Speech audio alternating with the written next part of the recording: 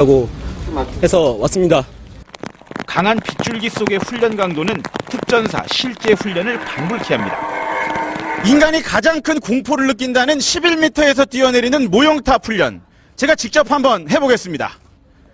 전방에 함성 군중아 발사 으아! 좋습니다 뛰어 자!